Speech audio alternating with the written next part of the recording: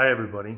Today I have a phenomenal lasagna recipe that you are going to absolutely love. It's easy to make, doesn't make a lot of mess. Let's get cooking. All right, let's get cooking. As always, just going to heat up the pan.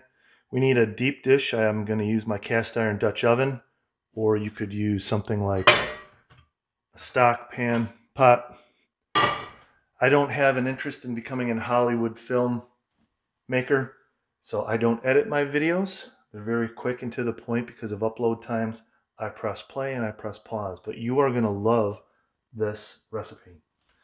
So we're going to let this heat up and we're going to put in a little bit of peanut oil. I use peanut oil because I don't want any other flavors going into my meat sauce other than the ingredients that you're going to see here today. So I just sort of coat the bottom of the pan as it heats up. And I will be stepping in and out of the frame to press pause. This little cast iron I actually use as a spoon holder. All right, now that we have the pan heated up, depending on how much meat you want in your sauce, uh, for the lasagna. You're going to want a pound to a pound and a half of, I use ground sirloin.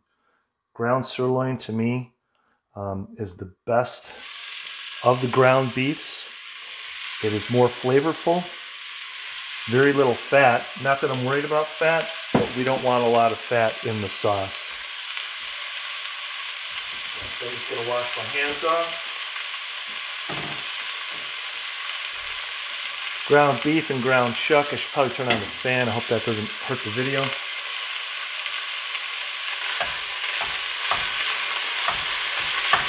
We'll use our meat chopper here.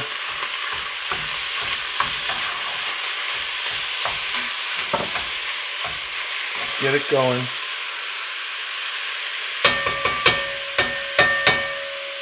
All right, and then two to three cloves of garlic minced right into the pan. I've moved, hopefully this is on the video. I've moved the meat off to the side, so you want the garlic to sort of toast because you don't want a very strong garlicky, garlicky flavor. You want more of a toasted garlic taste. So what I'm going to do is I'm going to continue to chop this up with my meat chopper and brown it. Obviously you guys know how to brown, so I will press pause. pause. So hopefully you can see that we're cooking up the ground sirloin. There's just a little bit of rawness left in it that we want to go. I'm going to talk about a couple things. We're going to add four cups of marinara I used to do three, but I find that especially if I don't eat it and if I store the lasagna, the pasta tends to soak in or absorb the sauce. So I use a marinara sauce. You're going to use 32 ounces and then another 24 to get your four cups for this. And then um, you'll see in the rest of the recipe why what I use the rest for.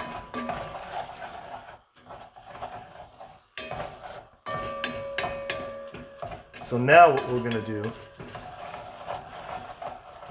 is we're going to take a half a cup of red wine.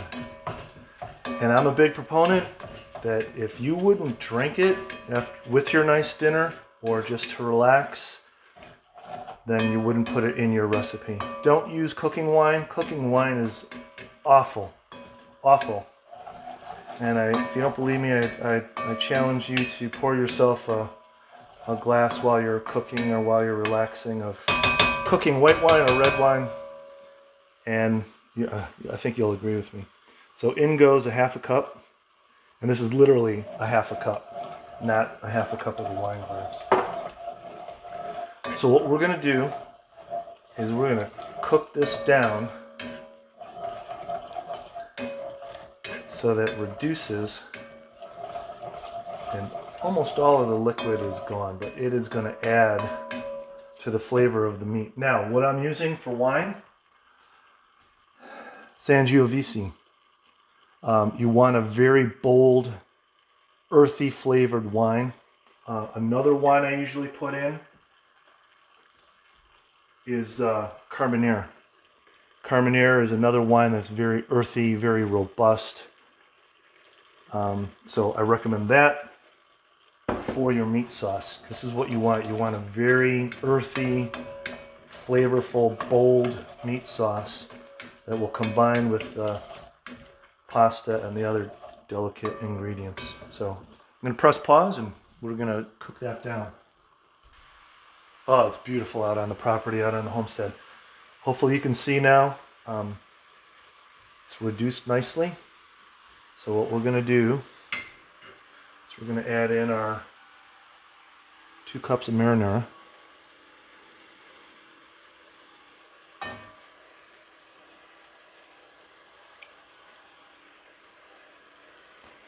I got four foot wind chimes outside and they're just sounding beautiful. Another two cups of marinara. So four total.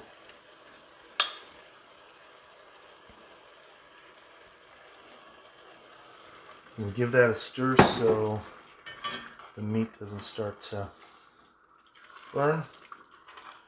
Now this will start splattering. You're probably going to want to turn the heat down a little bit.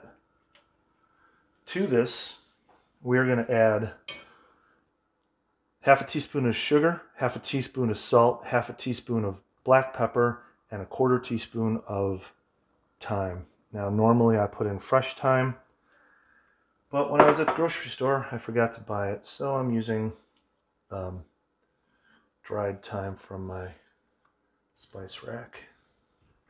So what we want to do here is mix it all together.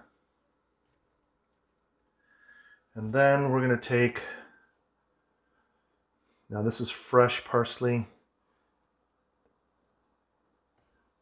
I don't know, chopped up, this is probably eighth of a teaspoon, maybe a quarter teaspoon, depends. A little bit more. So we're going to incorporate. I, I also prefer Italian parsley, but the grocery store didn't have it at the time. So we're just going to mix this up.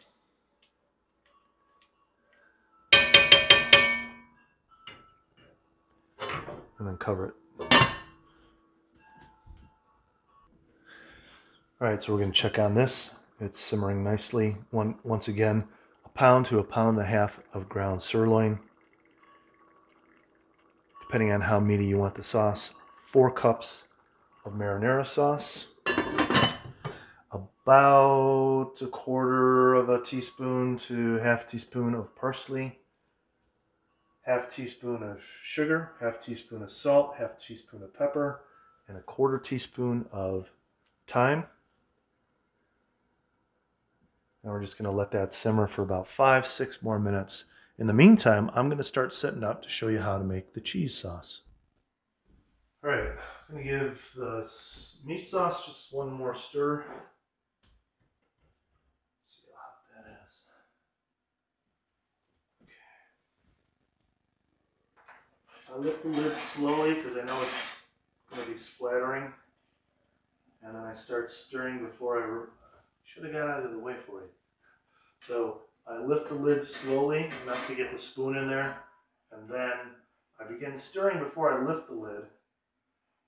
That way all the splattering stops and then there's less to clean up. Because I don't know anybody likes cleaning up. I know I don't. Alright, we can give this one last stir. This looks really good. Alright, we're going to turn off the heat.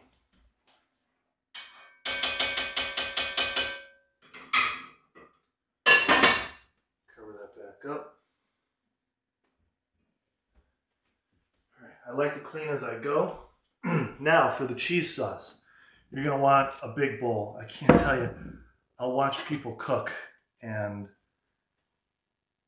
they use the smallest containers. They have all these ingredients and then there's like very little room to actually do what you need to do. So with that, um, what we're to do is the cheese sauce. So with a whisk in your bowl, you're going to take 16 ounces of ricotta. I've heard it pronounced many different ways. And then this one is 16 ounces of cottage cheese. And I can hear it already. Heretic. You never put cottage cheese in lasagna. Well, trust me on this one. You're gonna like this. Unstrained, put all put it all in there. One egg, large, farm fresh, no shells.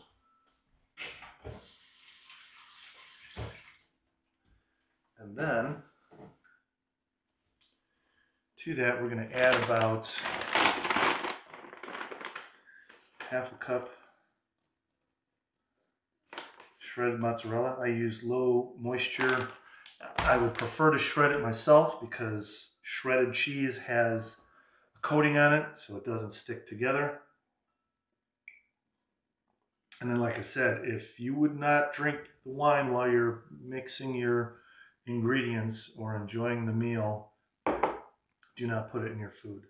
And then the other thing I didn't show you in the beginning of the video is I have fresh oregano, fresh cilantro.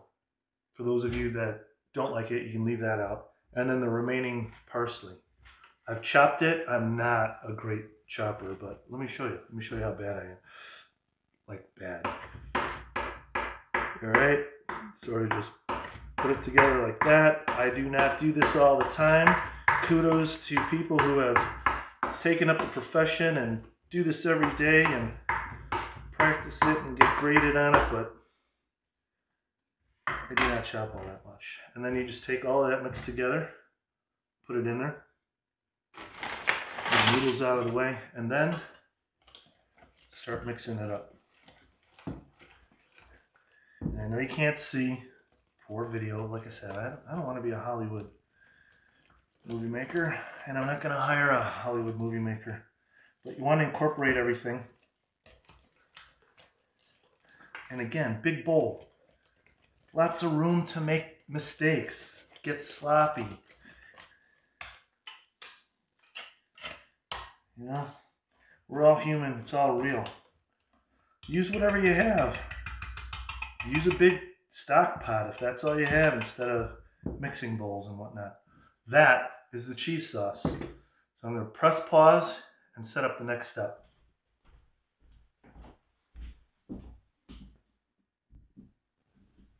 All right, I think I'm good to go.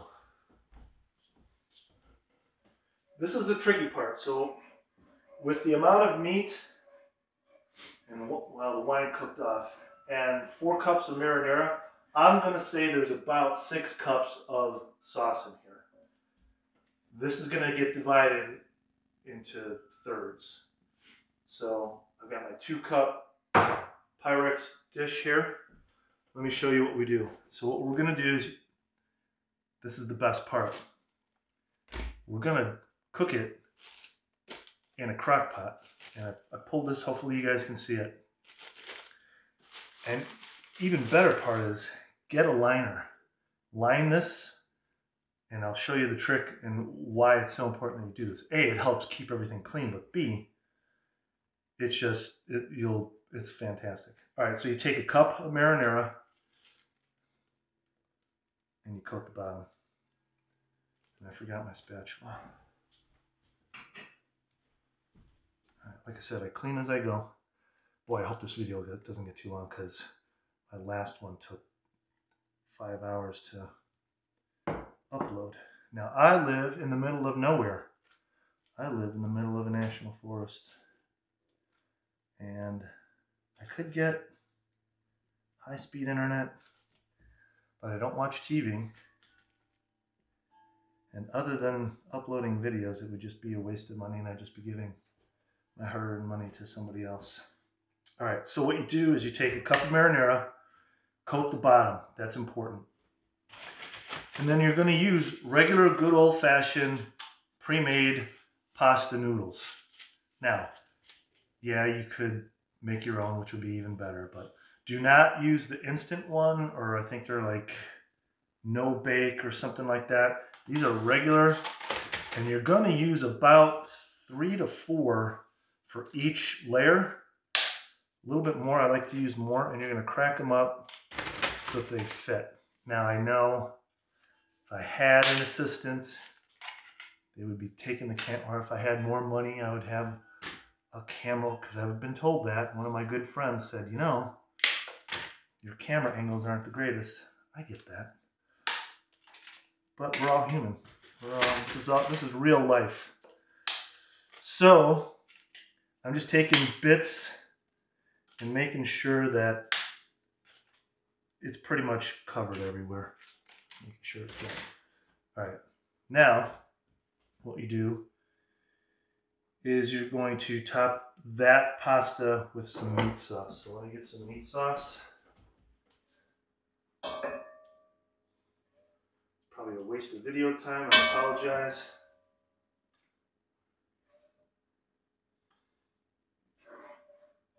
Alright, so now what you're going to do is you're going to take approximately a third of your meat sauce and you're going to pour it over the noodles that you just put down.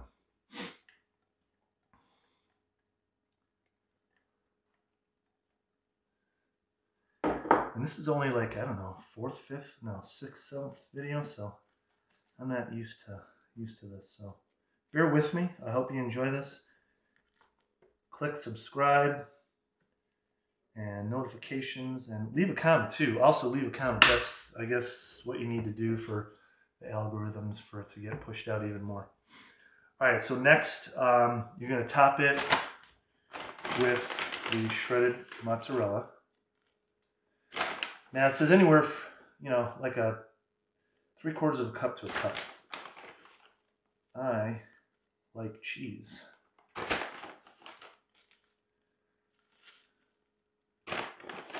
So I just want to make sure that pretty much all of the sauce is coated.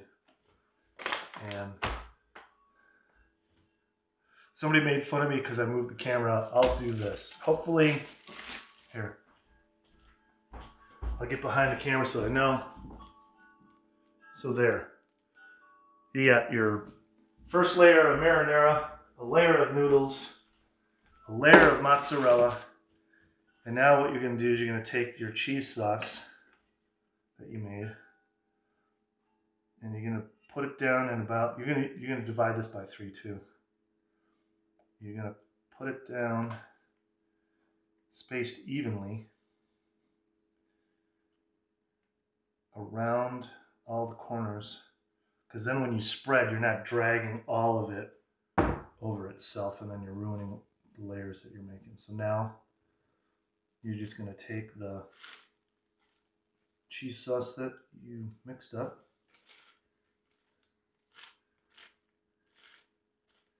and you spread. I think I can use a little bit more.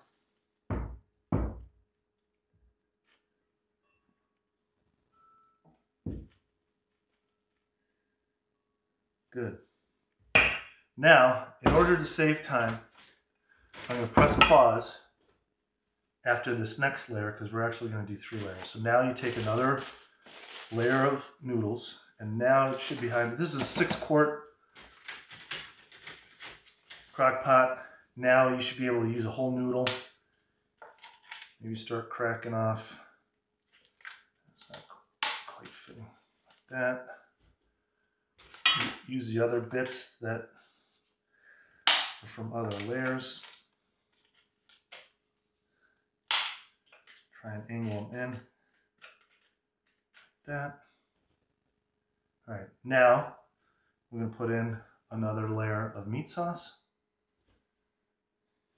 I don't know if I should film this or not. Yeah, I suppose. And then I'll press pause, I'll finish it off.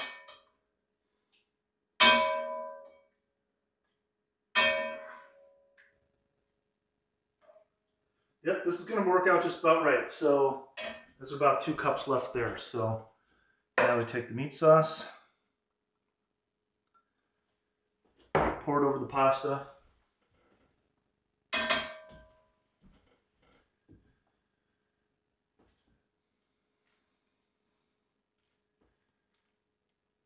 Push it around so that it covers all of the pasta. And believe it or not, so this is so hot, you know, your pasta's already cooking. It's already starting to cook. That back. More mozzarella.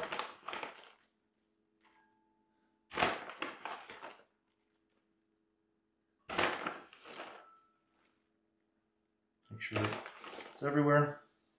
Now you're going to take another third of this.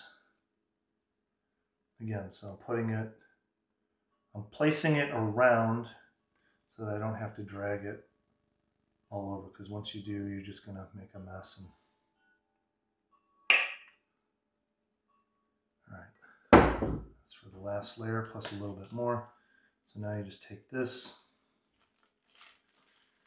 spread it around, and I'm going to go press pause and finish up the layers.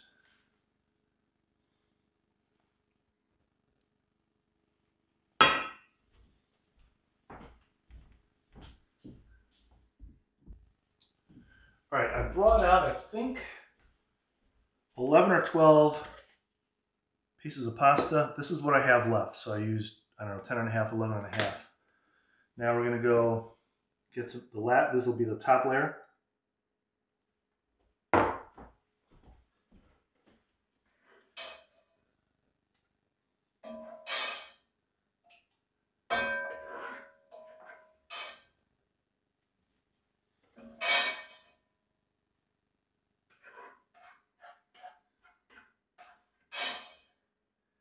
Save time, I'm not going to do it, but I would literally now, I think,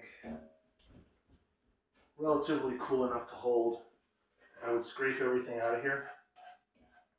Here's another, I know you, you cast iron purists, you're saying heretic.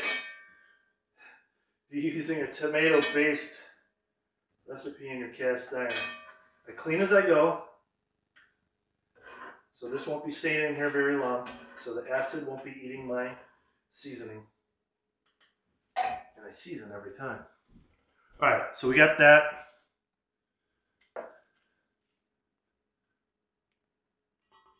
At this point, it really doesn't matter. You can use your spatula to get the rest out.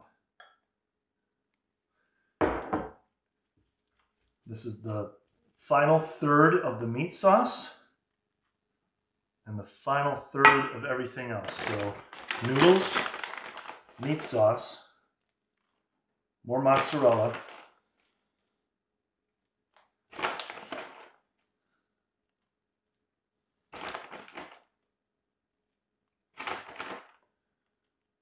I pick it up and show it to you, but you get the you get it. Boom, boom, boom. Last of the cheese sauce. Again, placing it around so you don't have to drag it everywhere.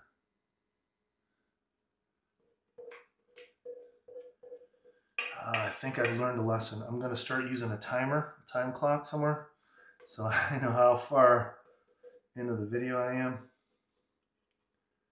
All right, nice and clean.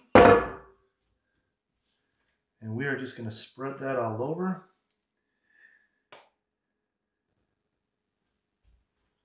The other thing I like to do then is buy the sliced mozzarella. You don't have to buy it, but it comes pre-sliced. You pay extra for it because somebody sliced it. But get get a ball of mozzarella and you can slice it yourself with a wire or something.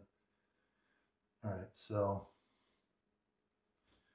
I can't resist. This is awesome. Wow, phenomenal. And then nothing goes to waste on the homestead here. So there you go. That's your garnish. Here's the best part. The best part is now you put the lid on and you turn it on low for three to four hours. This is gonna cook. I get to now go out on the property and do the other stuff that I need to get done on the homestead. I don't know where I'm looking. Um, but this will actually um, cook over just, and people are amazed that they think I do it in an oven. The best part, and hopefully we'll get to it, but I don't know how long the video is. After it's done and cooled a little bit, I take, where are they? Uh-oh, here it is. Here's the best part. I have storage container. It's roughly the size of my crock pot. What you're gonna do is you're gonna take both ends, you're gonna crimp it together so that you can hold it. You lift it up, center it, and like from here down, just let it plop and it will settle. It will fill all the container. And then the best part is you can cut off the plastic and then put the lid on it. And you're, I mean, you want to let it cool off so that you don't have condensation. I'll show you that in a little bit, but I'm gonna press pause and get to work on the property because now I've got three to four hours. All right, so I'm already 25 minutes into this video, which is way long. I don't know how long it's gonna take, but I cannot resist this sauce. Mm. You're absolutely gonna love the cheese sauce. I can't resist. I know there's a whole egg in here, egg. Doesn't matter. You're not gonna die. Mm. I think what I'll do is I'll let this cook. I've already explained how to take this out and what you're gonna do. So I'll probably just finish it up with a couple of photos of the finished product, hopefully. With that, as always, bring your best and have the best day of your life.